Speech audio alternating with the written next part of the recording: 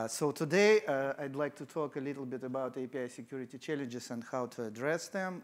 And um, uh, as we know, uh, security uh, is probably the major pain for the entire ID, IT industry. And um, certainly this is true for APIs as well. Obviously, there is no way I can cover security challenges and how to address them in a good level of details in a 20 minutes presentation. So uh, what I'd like to do is to focus on a particular perspective on uh, security challenges and uh, how they can be addressed. And that perspective has to do with, uh, in the context, uh, this perspective is in the context of API securities and API management. Uh, so first of all, how many people are familiar with the term and concept of API management? Okay, quite some many people. Uh, so just you know to reiterate some basic things, uh, API management is typically a concept that covers a lot of aspects around managing API APIs themselves and helping API consumers. It consists of very many features, capabilities, and components. Uh, such as you know API catalog, where people can register their services and APIs, they can manage their life cycle, they can get access to metadata such as Swagger or WSDL for SOAP services, get access to documentation, sample files, and so on. Uh, as well as APIs manage uh, aspects such as monitoring, security, and by the way, Keith from Okta in the two presentations ago, I like that he emphasized the fact that security without proper monitoring, auditing, you know, trails, that's actually half broken security already in the first place. So security is a lot of many things. Uh, and again, I want to talk about only one particular aspect, which is explicitly in the context of API management. And I'll try to convince you to, those who have to be convinced, of course, and are not yet, that API management it's actually one of the uh, major uh, ways to help you address uh, common uh, API security. Within the API security, uh, I'm going to again focus only on uh, one few particular aspects that have to do with authentication and authorization. Again, simply because security is so much more than that. Again, referring to Keith and you know, talking about monitoring, logging, and auditing. So uh, let's review a few basic things. So we have, you know, basic API consumer that consumes API. Uh, we know that we have a lot of challenges around implementing security uh, and different security models. Uh, things complicate when we, you know, try to consider that even simple interaction uh, throughout different environments, on-premises, cloud, potentially hybrid. Uh, what are the security models that we know of? Uh, technically speaking, for especially for REST, RESTful APIs, there are only few, you know, uh, security models that considered to be standard, meaning those that are well defined by the uh, industry specifications. Uh, we know things like username, password, X509 certificates. We can drop here Kerberos. It is also well kind of defined. And these models have been around for more than 20 years. Everybody know them. Uh, there are a few emerging models like OAuth, and you know there are a lot of presentations at this event about OAuth. Uh, this one is a bit more complicated. Well, I would say quite more complicated than you know basic authentication or X509 certificates. So these are standard. Why are they standard? Because technically speaking, if I build an API and I want to expose it to a developer, I can simply say, well, you have to implement basic authentication uh, you know, security model, and that will says it all. So the developer wouldn't have to know anything else about the security model of my API. Basic authentication is well defined. All he has to know is what specific username password to provide, or what specific certificate to insert with the, you know, let's say mutual authentication. with OAuth, it's a little bit more complicated.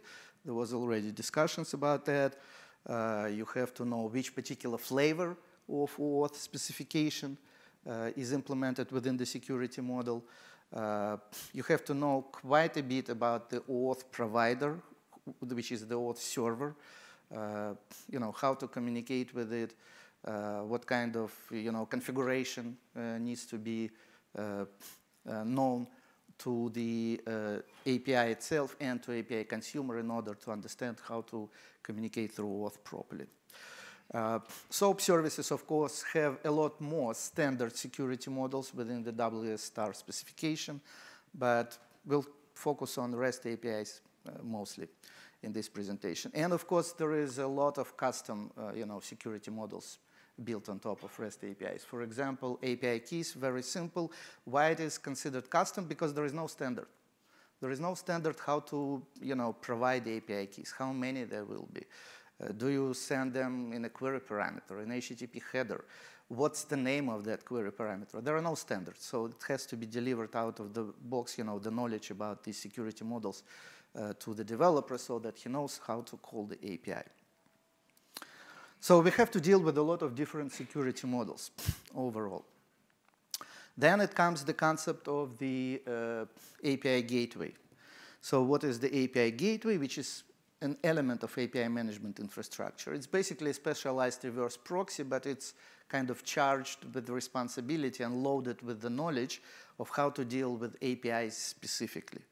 So it's like a middleman that sits between API consumer and the API itself and acts as a broker effectively. Uh, the gateways might be located uh, on premises, they might be uh, you know, in the cloud, on-premise gateways might be serving as a kind of DMZ located gateways to protect access into your, uh, to your internal APIs or the, the on-prem gateway might be in, entirely located inside your network and help integrate your internal applications between each other without even potentially exposing anything outside.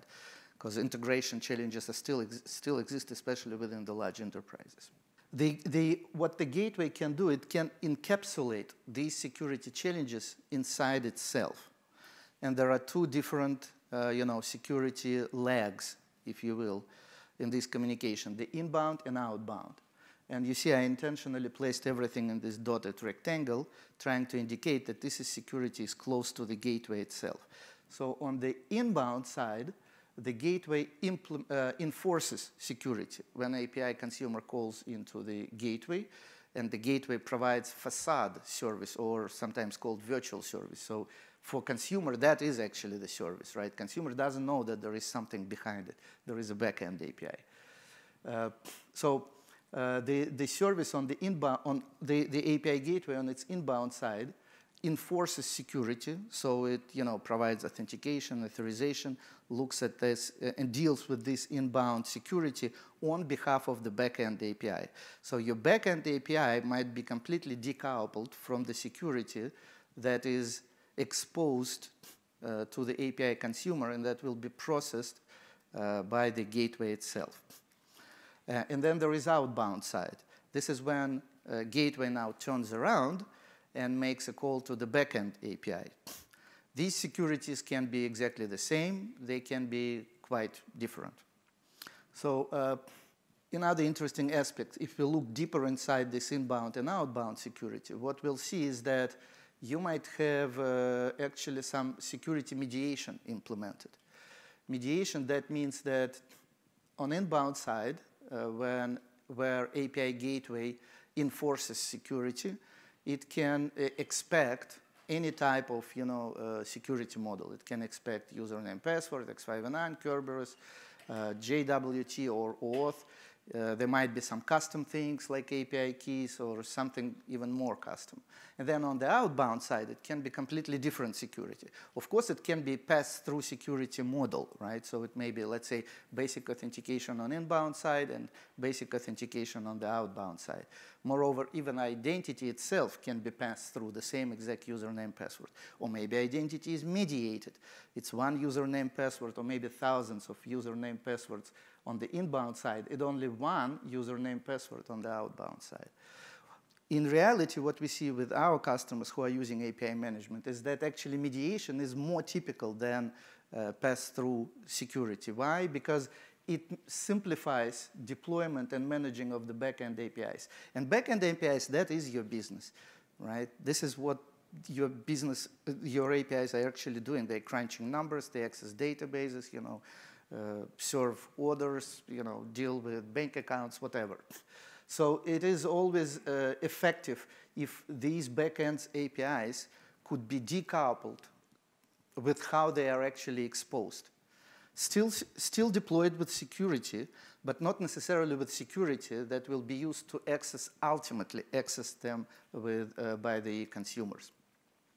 So uh, you might have, you know, hundreds and hundreds of business APIs, and you, you might start de developing and deploying them exactly the same unified way within your enterprise, on premises or in the cloud. Because the way they are deployed internally, technically speaking, has nothing to do with how they will be ultimately made available to consumers. So the internal communication can be, let's say, Kerberos within uh, leveraging your Windows Active Directory. And then the gateway located in DMZ uh, starts exposing your service exactly as it's designed and meant to be exposed to the consumer. That exposure through the gateway doesn't require any coding. That's what's important. It's all about configuration of the gateway. Remember I mentioned earlier that API management infrastructure typically consists of uh, API gateway, then API provider portal, and uh, typically also developer portal. So typically provider portal will make it possible to remotely and securely configure these gateways dynamically. Uh, so you deploy your backend, you instruct your gateway how to connect to the backend, what security needs to be implemented here, and it can be, again, simplified if it is on premises, uh, or it can be, you know, sharpened or adjusted for your specific internal needs uh, and unified to all the backends. And then dynamically and remotely, you'll start configuring gateway to expose your backend service uh, using appropriate security. In fact, if the API management infrastructure is flexible enough, it can take your backend API and en enable with much greater agility and capability to deal with security models because it can expose not just one endpoint, but many different endpoints with many different security models. So you might give your consumers flexibility to use whatever endpoint they are comfortable with, maybe one with basic authentication for, I don't know, mobile application, and uh, uh, I don't know, Mutual X509 for, for business partner and enterprise or OAuth, uh, you know, security. So the same backend now can be exposed with multiple different security models. Another interesting aspect, we all know that security is all about authentication and authorization. Uh, so uh, and, and there was a talk about that. So again, what's important is that the gateway can absorb responsibility to deal with that. Your backend services do not have to deal with authorization anymore. To, in understanding, okay, I have username, password, I have identity, I have JWT token with claims, but can I give access to the backend API with that identity, uh, or maybe a particular operation of that API? Uh, gateways, again, as part of API management infrastructure can absorb that responsibility. You can configure access rules and complex authorization logic within the gateway if the uh, API gateway vendor allows that.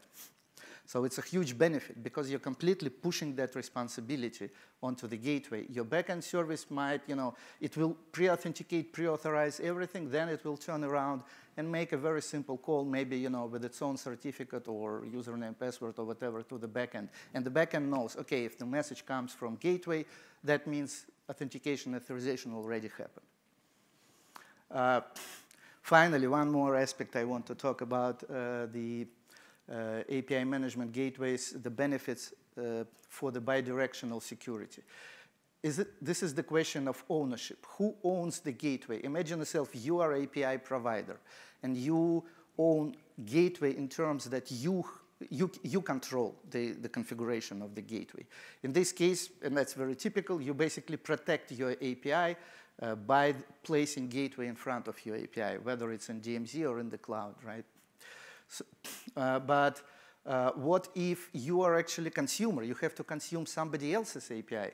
Let's say you need to consume, uh, I don't know, Salesforce.com API or uh, uh, you know Google API, whatever, business partner API. If you own gateway, it's close to you, not necessarily from networking perspective, but close to you from ownership perspective. You control it.